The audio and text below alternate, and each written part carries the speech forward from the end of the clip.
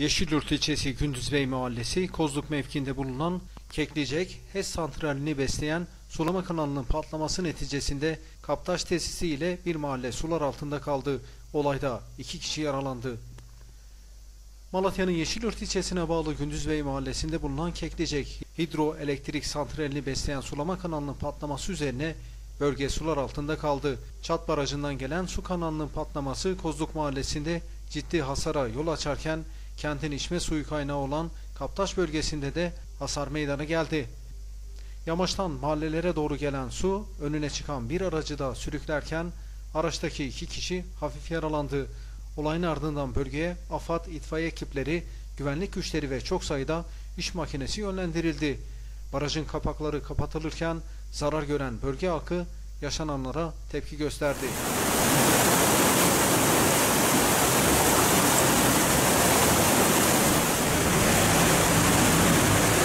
Olay bayramda sular kesiliyor. Evet.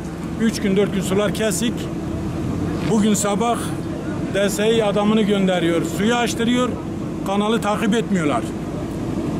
Ya HES açmamış veya önü tıkanmıştır. Ondan sonra baktık şurada açıyor bak. Burası açtıktan sonra bu tarafta açtı. Bu tarafta açınca direkt evlere geldi ve kanal yıkıldı yani. Valla hasar çok evlerde. 1, 2, 3, 4, 5, 6 evde hasar var. Artı bahçeler bitti yani. Şimdi bu üç gündür sular kesik kanalda bayramdan dolayı.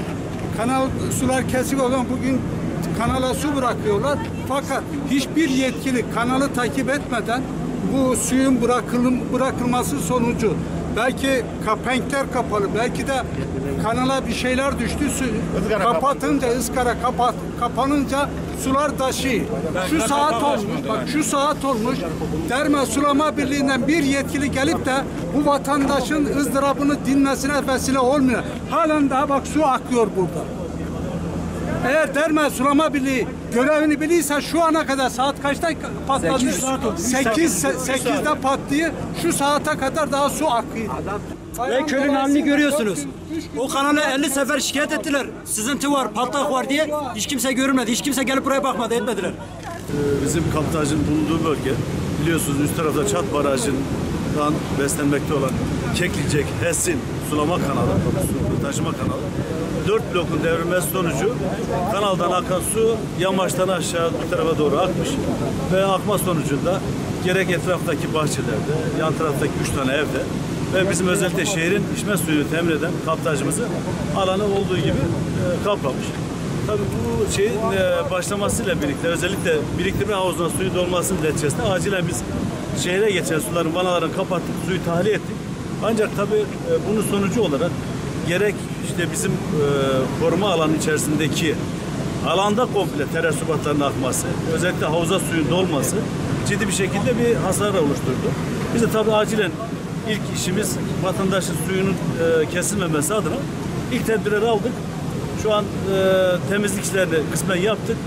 Onun hemen şey sanıyorum bir yarım saat içerisinde sisteme tekrar su vereceğiz. Klorlama işlemlerine başlattık. Yani bizim su şebekesiyle alakalı inşallah artık vatandaşımıza e, şeyi yansıtmadan bu e, tehlikeyi atlatmış olacağız. Mevcut depolar. Mevcut depolarımız zaten yeterince doluydu. Onlar şu an vatandaşlarımızın beklemekte e, ihtiyaç duyduğu suyu sağlıyor. E, ancak tabii sahada epeyce bir hasar oluşmuş.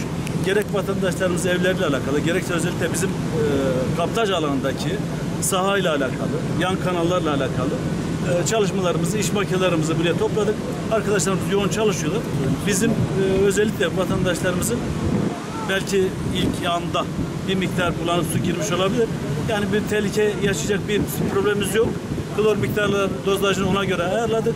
Vatandaşlarımızın bir kere içme suyuyla alakalı endişe duyacak bir şey, şey söz konusu değildir. Ee, bizim, evet, bizim zaten e, laboratuvarımız açık.